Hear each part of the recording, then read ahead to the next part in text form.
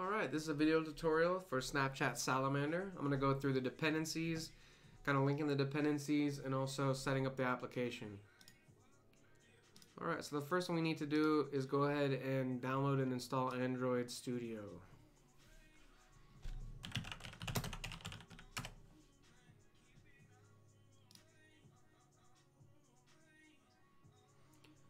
I'm downloading version 3.5.3, 64-bit.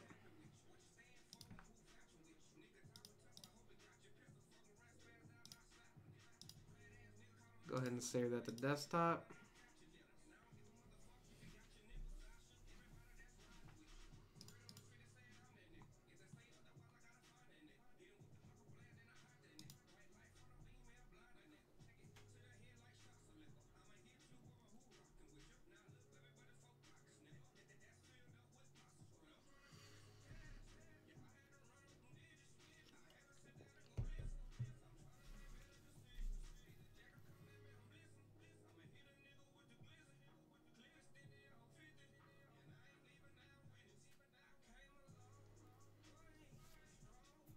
Alright.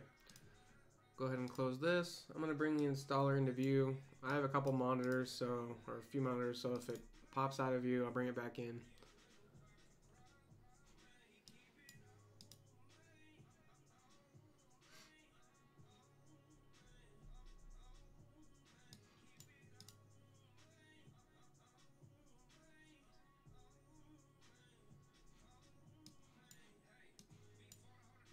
Alright.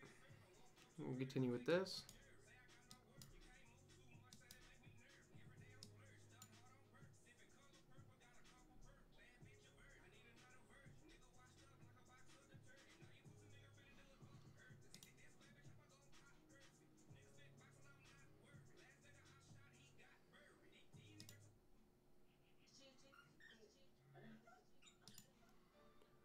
Alright.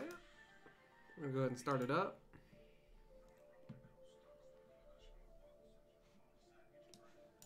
Do not import settings.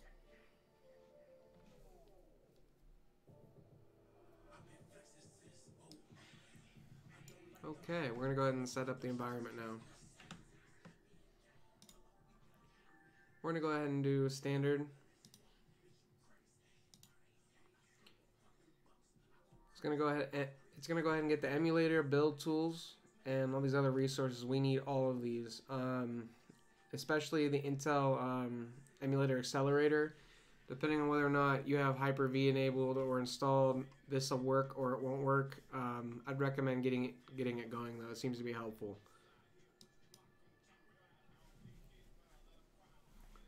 So it's going to go ahead and download all those components right now.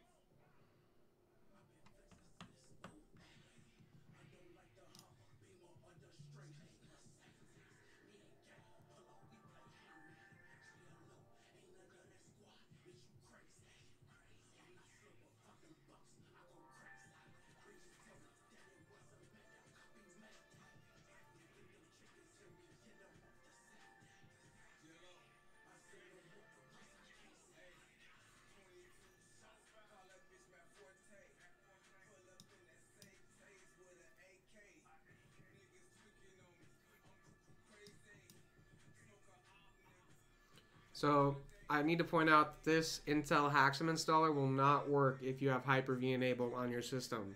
However, the emulators will still work with Hyper-V. Um, you might want to play around with that, right? Alright, so that's finished there. Now, the first thing you need to do after all that's done is create a new studio project, a blank one, so you can use the environment here. Just call it my application. It's going to save it to here, no problem. Alright, now the studio's loading. Now, this is where some might get lost, and uh, you can see down here we have two processes running, right? and so if you if you hadn't seen these, you might have gotten lost with the next step. So we need to wait for these to finish before we can continue here.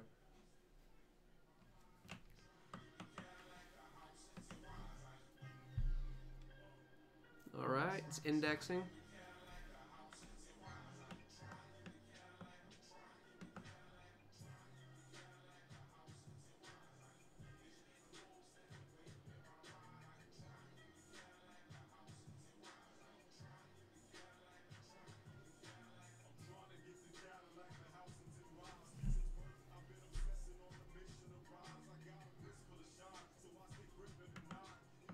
Okay, now that that's finished, you can go up to Tools here. Go to SDK Manager. Now, you can see here, it's going to take you here. It should anyways. If it doesn't, go down to Appearance Behavior, System Settings, Android SDK here, okay? You can see right now we have one installed, uh, 10.0. I'm going to go ahead and install everything up until 4.4.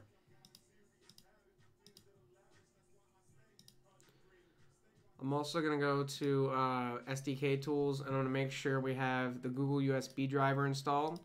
The reason why I want to install this is because while Snapchat Salamander can can use emulators, it can also control USB devices. So if your computer doesn't have a lot of CPU or you don't want to use an emulator for whatever reason, maybe for detection reasons, yada yada yada, you can actually extend that, um, you know, create multiple threads with that Google USB driver. So well, the driver doesn't do it, but it allows you to do it, right? So uh, I'm just going to make sure of everything else we need. All right. You should be good there. I'm going to go ahead and hit apply, and it's going to go ahead and confirm my downloads and the size. I'm good with that. Hit OK, accept, and go ahead and install here. Wait for this to continue.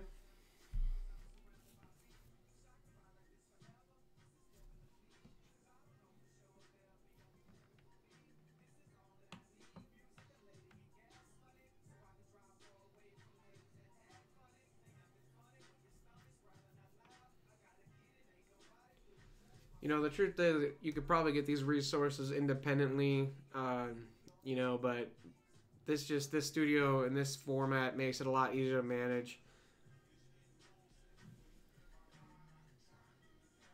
As you can see clearly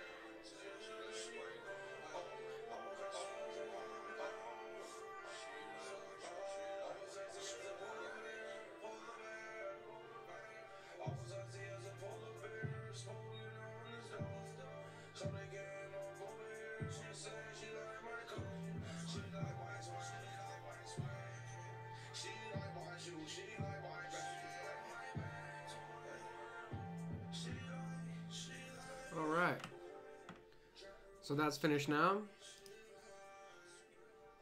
Go ahead and hit OK. All right. Now what we can do is we can go ahead and load up our AVD manager. And uh, for uploading purposes and also for uh, reusability, I'm going to go ahead and stop this first video here. This is um, how to set up the dependencies for Snapchat Salamander.